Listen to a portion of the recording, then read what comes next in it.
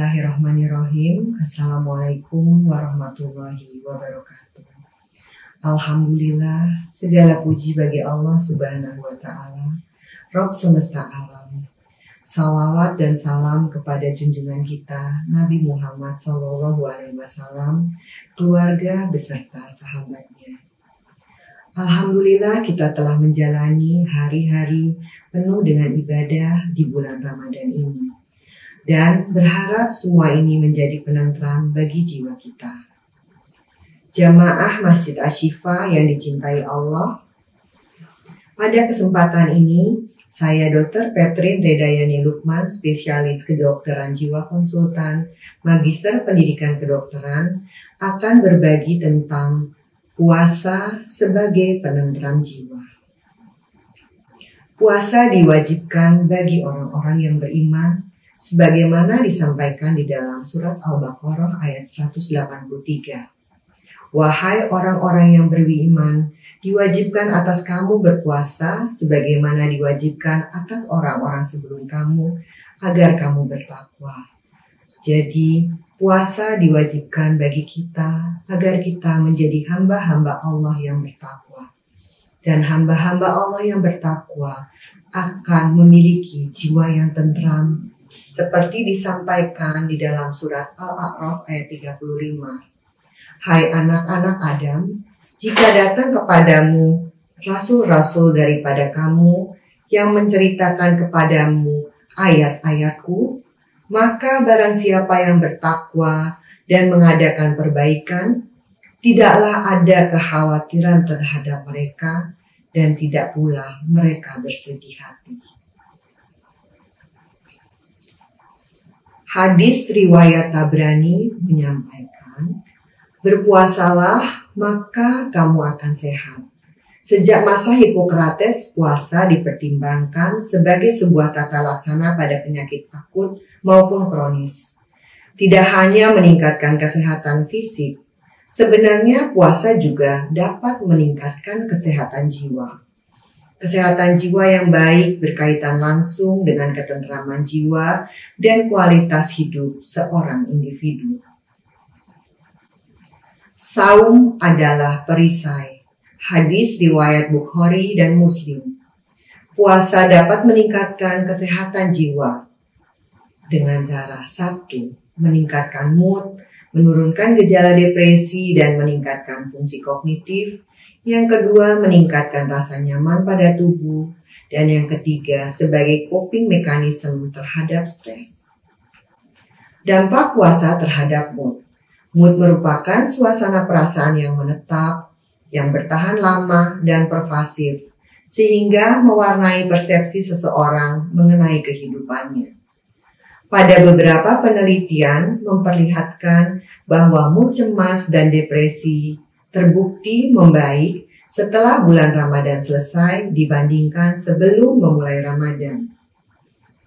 Saat kita dalam keadaan lapar, terdapat penurunan glukosa otak yang dapat memicu neurogenesis, sintesis faktor neurotropik atau BDNF, dan reseptor neurotransmitter yang berkaitan dengan perbaikan mood dan peningkatan kognitif otak sehingga otak dapat berpikir lebih lancar dan kemampuan mengolah informasi pun meningkat. Kadar serotonin juga meningkat dalam keadaan lapar, dan BDNF diketahui meningkatkan produksi dan pelepasan serotonin yang berfungsi untuk meregulasi emosi. Dari hadis riwayat Bukhari dan Muslim, hendaknya engkau berpuasa sebab puasa dapat mengendalikanmu. Puasa meningkatkan rasa nyaman pada tubuh. Puasa merupakan suatu stimulus signifikan bagi tubuh dan meningkatkan pelepasan beberapa hormon dan setelah seseorang berpuasa selama 5 hingga 10 hari, didapatkan peningkatan hormon-hormon adrenalin, norepinefrin, dopamin, dan hormon endorfin. Hormon-hormon ini dapat meningkatkan rasa nyaman pada tubuh sehingga juga dapat meningkatkan kesehatan dan ketentraman jiwa. Dari hadis riwayat Bukhari dan Muslim, Bagi orang yang melaksanakan puasa, ada dua kebahagiaan, yaitu kebahagiaan ketika berbuka dan ketika bertemu dengan rohnya. Yang ketiga, puasa sebagai stress coping mechanism. Puasa dalam Islam merupakan perintah agama. Aktivitas keagamaan merupakan salah satu cara yang dapat digunakan seseorang untuk menghadapi stres. Semakin kuat kepercayaan terhadap agama, orientasi agama dalam diri seseorang, dan ketaatan beragama, maka semakin tinggi prediksi untuk kesehatan mental yang lebih baik. Aktivitas puasa merupakan salah satu metode kognitif perilaku yang dapat menurunkan ketegangan, kecemasan, dan gejala psikologis lainnya. Jadi, Berpuasa merupakan ibadah kepada Allah Subhanahu wa Ta'ala, dan sekaligus dapat kita jadikan salah satu cara untuk menghadapi stres. Manfaat ibadah-ibadah selama bulan puasa bagi penentraman jiwa. Saat kita melakukan sholat, melibatkan pelafasan bacaan sholat, gerakan tubuh, dan konsentrasi beribadah atau yang kita kenal dengan khusyuk. Melafazkan sholat dapat meningkatkan aktivitas gelombang alfa pada korteks parietal dan oksipital yang memunculkan perasaan rileks. Gerakan sholat dapat memperbaiki aliran darah dan meningkatkan pula kekuatan otot. Khusyuk pada saat sholat memiliki efek menenteramkan dan menunaikan ibadah sholat dengan khusyuk ini dapat membuat perasaan rileks dan menurunkan ketegangan. Lalu ibadah membaca Al-Quran dapat melatih kerja otak sehingga meningkatkan fungsi visual, memori kerja, pembentukan memori, atensi, bahasa, keterampilan berbicara, dan inhibisi perilaku. Membaca Al-Quran meningkatkan kemampuan belajar informasi baru dan konsolidasi memori melalui aktivasi dari lobus temporal.